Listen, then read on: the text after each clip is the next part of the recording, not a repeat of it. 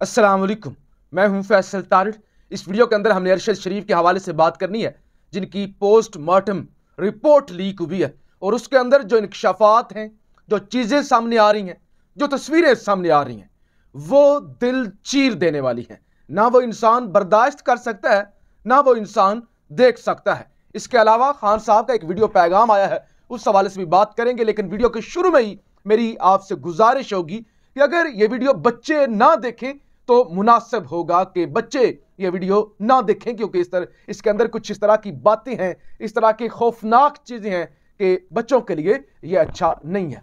तो आज रात आठ बजे के करीब कामरान शाहिद साहब, जो कि दुनिया न्यूज़ के सीनियर एंकर हैं, अपना टीवी प्रोग्राम करते हैं और उसके अंदर वो अरशद शरीफ की पोस्टमार्टम रिपोर्ट, यानी वो तस्वीरें सामने रखते हैं कि उनके साथ असल में हुआ क्या क्या अब ये सवाल उठाए जा रहे हैं और हमारे दोस्त सदीक जान ने भी इस पर लाइव सेशन किया और सवाल भी ट्विटर पर उठाए हैं कि आखिर ये रिपोर्ट जब अरशद शरीफ के घर वालों को भी नहीं पता, जो पोस्टमार्टम पिम्स अस्पताल के अंदर मौजूद हुआ और मैं भी उस वक्त वहाँ पे मौजूद था, यानी वहाँ पे मीडिया कवरेज करने के लिए बाहर मौजूद थे उसके बाद रिपोर्ट जो आई भी तो घर वालों को मौसू नहीं हुई, और जो कीनिया के अंदर पोस्टमार्टम हुआ, उसकी भी रिपोर्ट पाकिस्तानियों के हाथ तो नहीं लगी, और वहाँ पे तो तरह तरह के झूठ बोले गए कि वो जी बच्चे को बचाने के लिए आए थे। वो जी, गाड़ी चोरी हो गई थी और गाड़ी के बारे में भी कल ये खबर आ गई थी कि वो वाली गाड़ी जो चोरी हुई थी ना, एक तो सबको पता है वो और गाड़ी थी, वो अरशद शरीफ की जो वी गाड़ी थी ना, वो वाली गाड़ी नहीं थी। तो लिहाजा वो गाड़ी रात के नौ बजे मिल गई थी। रात नौ बजे वो गाड़ी पुलिस को मिल गई थी और पुलिस के पास उस गाड़ी की लोकेशन भी आ रही थी।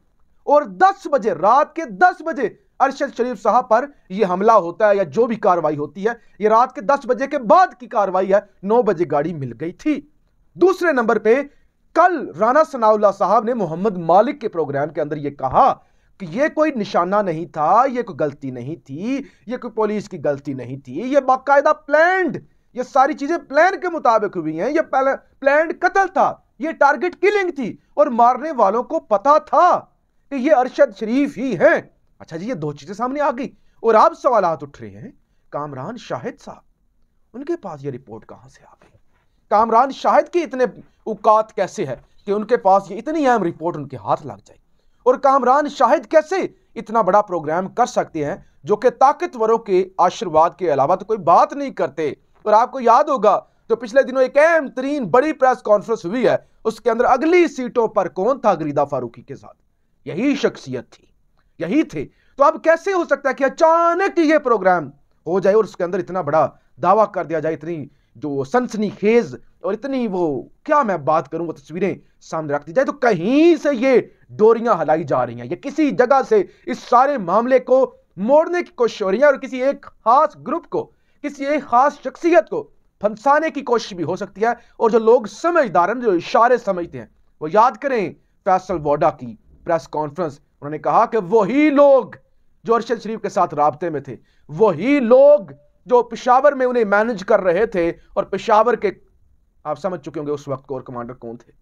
तो वो सारी एक उन्होंने खास तरफ़ उस मामले को मोड़ने की कोशिश की और फिर DG I S P R ने और आई एस आई के चीफ ने जो प्रेस कॉन्फ्रेंस की, उसमें भी उन्होंने वादा कर दिया कि हम तो मुलवस नहीं है, हम पर जो इल्ज़ाम हैं वो बेबुनियाद हैं।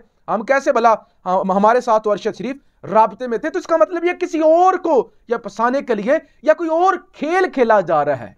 कोई और खेल खेला जा रहा है और जिस तरह की कीनिया के अंदर भी मीडिया पहुँच चुका है, बहुत सारे इंटरनेशनल मीडिया वहाँ पर पहुँचा हुआ है इन्वेस्टिगेशन कर रहे हैं तो सारे खेल से बचने के लिए कुछ ना कुछ तो जनाब ये बड़ी गहरी साजिश है। बताने का मकसद यह कि इतना सादा ये खेल नहीं है कि कामरान शायद जैसा टाउट वो आके प्रोग्राम कर दे। और फिर प्रोग्राम के अंदर जो तस्वीरें चलाई गई हैं, उसके मुताबिक, उस रिपोर्ट के मुताबिक जनाब अरशद शरीफ पर तकरीबन अढ़ाई से तीन घंटे तक तशद किया गया है और कत्ल से पहले उन पर बदतरीन तशद हुआ। नाखून उंगलियों से खींच दिए गए थे। ज़रा अंदाज़ा करें, क्या बीती होगी? क्या हुआ होगा? किस तरह ख्याल होंगे? कहते हैं उंगलियों से नाखून निकाल दिए गए। गर्दन के पीछे चाकू के निशानात थे, चेहरे पर जख्मों के निशानात थे और जिनसी तशद भी उन पर किया गया था, छाती पर बारूद भी था। इस तरह के ये तस्वीरें भी सामने आ चुकी तस्वीरें तो मैं आपके सामने नहीं रखूँगा। आप देख चुके होंगे सोशल मीडिया पर, और कामरान शाहिद के वो क्लिप भी आप शायद देख चुके हो, नहीं देखा तो सोशल मीडिया पे आप देख सकते हैं कि वो सारी हाथ की उंगलियाँ, वो हाथ पे जख्म का निशान, वो इतने करीब से जो गोली का सुराख है, वो भी नज़र आ रहा है, और जो सारे तशद ज़्यादा तस्वीरें हैं, वो सारी सोशल मीडिया पर चल रही हैं। कहाँ से चल गई? कहाँ से आ गई ये रिपोर्ट? अचानक ये सारा कुछ क्या हो गया? या क्या ये जो मुल्क के अंदर एक सूरत हाल पैदा हो चुकी है?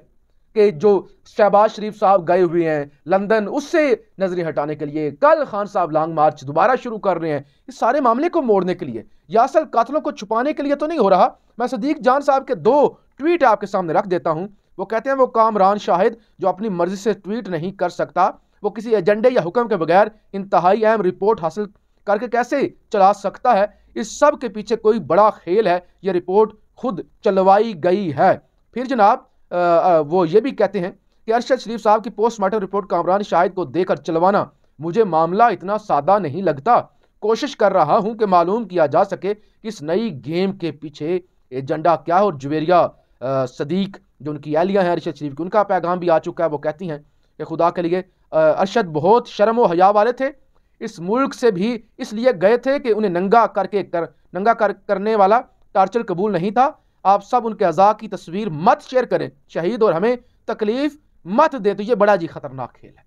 ये जो कुछ हुआ है ना, ये जितना तशद और जो हुआ है, ये खेल इतना सादा नहीं है। राना सनाउल्ला की प्रेस कॉन्फ्रेंस, नाम लेना टारगेट किलिंग थी और अब ये सब कुछ चल जाना। अच्छा ये तो एक तरफ़ खेल खेला जा रहा है, लेकिन ये कितनी बेदर्दी से किया गया।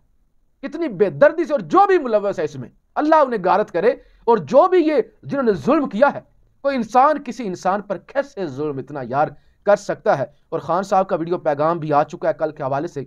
कल से लॉन्ग मार्च दोबारा उसी जगह से शुरू होगा, जहाँ पे जालमों ने खान को रोकने की कोशिश की थी और खान हर रोज चार, साढ़े चार बजे खिताब किया करेंगे वीडियो लिंक से। और यहाँ पिंडी और इस्लामाबाद के अंदर धरने तो जारी है, खासतौर पिंडी के अंदर रोड्स ब्लॉक्स हैं, ब्लॉक हैं और कल से दोबारा खान साहब का लॉन्ग मार्च शुरू हो जाएगा। इस हवाले से खान साहब का वीडियो पैगाम भी आ चुका है। वो भी आप सुनिए और मुझे इजाज़त दीजिए, पाकिस्तान जिंदाबाद। बसमीम कल इन जो हमारी मार्च, इस्लामाबाद की जो मार्च थी, हकीकी आज़ादी की मार्च, जो हमारे ऊपर जो गोलियाँ चली वजीराबाद में, जिधर रुकी तेरह तेरह लोगों को हम हम में से गोलियाँ लगी और एक मौसम शहीद हुए।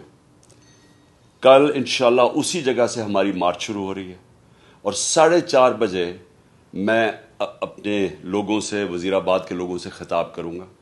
और मैं आज आप सबको कहना चाहता हूँ कि देखें, ये जो हकीकी आज़ादी की तहरीक है, ये आपके लिए, पाकिस्तानियों के लिए, जो कौम आज़ाद नहीं होती, उसका कोई, उसकी परवाज़ ऊपर नहीं होती। इंसाफ कौमों को आज़ाद करता है। और ये इस वक्त पाकिस्तान बनने के बाद सबसे अहम इस मुल्क की हकीकी आज़ादी की तहरीक है।